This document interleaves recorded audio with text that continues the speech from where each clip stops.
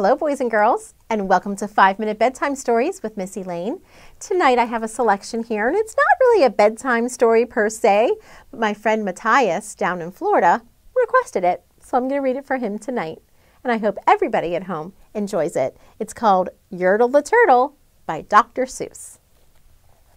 On the faraway island of Salamasond, Yertle the Turtle was king of the pond. A nice little pond. It was clean. It was neat. The water was warm, and there was plenty to eat. The turtles had everything turtles might need, and they were all happy, quite happy indeed. They were until Yertle, the king of them all, decided the kingdom he ruled was too small. I'm ruler, says Yertle, of all that I see, but I don't see enough. That's the trouble with me. With this stone for a throne, I look down on my pond, but I cannot look down on the places beyond. This throne that I sit on is too, too low down. It ought to be higher, he said with a frown. If I could sit high, how much greater I'd be. What a king! I'd be ruler of all I could see. So Yertle, the Turtle King, lifted his hand, and Yertle, the Turtle King, gave a command. He ordered nine turtles to swim to his stone, and using these turtles, he built a new throne. He made each turtle stand on one another's back, and he piled them up all in a nine turtle stack. And then Yertle climbed up, and he sat down on the pile. what a wonderful view! He could almost see for a mile. So there's his new higher throne. But is how nice is that for the other turtles? I think they're probably a little uncomfortable, to say the least, with Yertle all the way on top.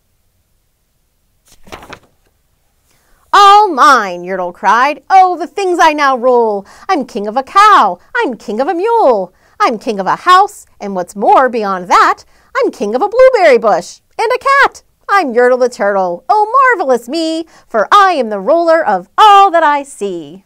And all through that morning he sat up there on high, saying over and over, A great king am I, until long about noon, and then he heard a faint sigh.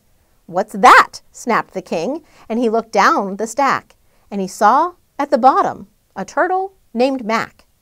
Just part of his throne, and this plain little turtle looked up and he said, Beg your pardon, King Yertle. I've pains in my back and my shoulders and knees. How long must we stand here, your majesty, please? Sure, he's getting tired with all those turtles on top of him. He can't be that strong. I mean, that's a lot of work. Silence! The king of all turtles barked back.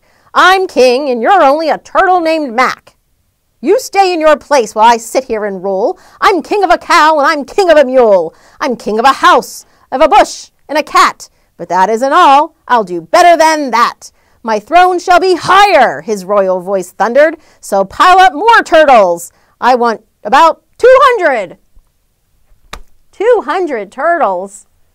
That's crazy. How high will his throne be now? Turtles! More turtles! he bellowed and brayed, and the turtles way down in the pond were afraid. They trembled. They shook. But they came. They obeyed. From all over the pond they came swimming by dozens, whole families of turtles with uncles and cousins, and all of them stepped on the head of poor Mac. One after another they climbed up the stack. Oh my goodness. That's a lot of turtles. Then Yertle the turtle was perched up so high he could see 40 miles from his throne in the sky. Hooray! shouted Yertle. I'm king of the trees. I'm king of the birds, and I'm king of the bees. I'm king of the butterflies, king of the air. Ah, me, what a throne, what a wonderful chair. I'm Yertle the turtle, oh marvelous me, for I am the ruler of all that I see. Then again, from below, in the great heavy stack, came a groan from the plain little turtle named Mac. Your Majesty, please! I don't like to complain, but down here below we are feeling great pain. I know up on top you're seeing great sights, but down on the bottom we too should have rights. We turtles can't stand it. Our shells will all crack. Besides, we need food. We are starving, groaned Mac. Well, that's true.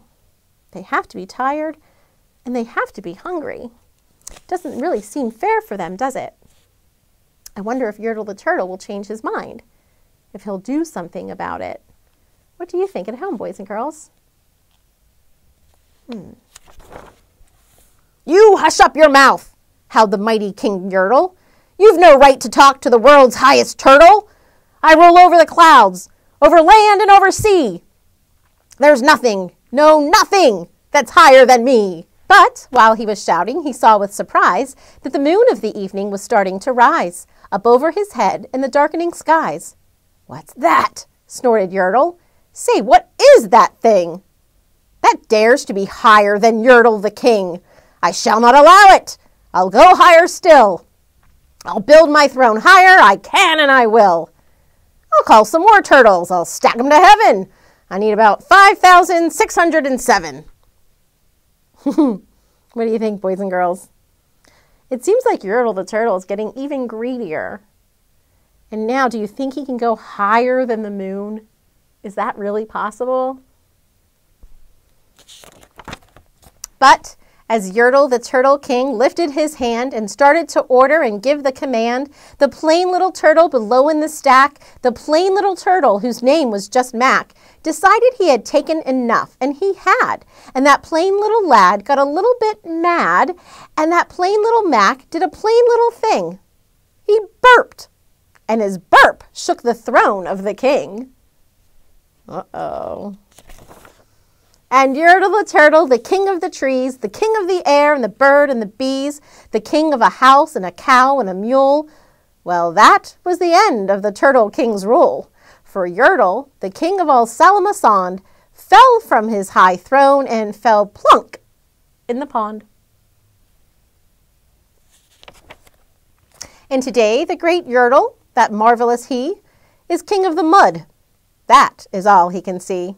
And the turtles, of course. All the turtles are free, as turtles and maybe all creatures should be. What a fine message, huh? I'm glad that Max stood up for himself. Right? That Yertle the turtle was being kind of a bully, don't you think? So good job for Mac. And that was a great message. Thanks for the recommendation, Matthias. I hope you enjoyed it. And boys and girls, I hope you will all sing with me our two lullabies of the evening. As always, we're going to do Twinkle, Twinkle, Little Star and God Bless the Moon. I'm going to teach you the signs for Twinkle, Twinkle.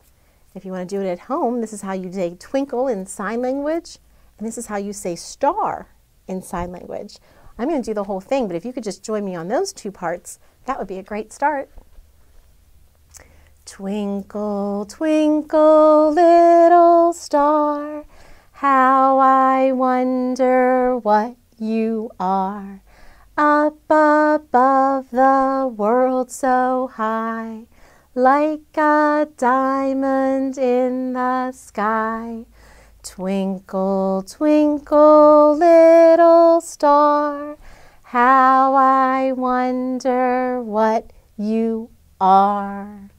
Great job. And now let's do our moon song. I see the moon and the moon sees me. God bless the moon and God bless me. And God bless you, all my friends at home. Thank you so much for watching, and I'll see you again real soon on 5 Minute Bedtime Stories with Miss Elaine. Good night.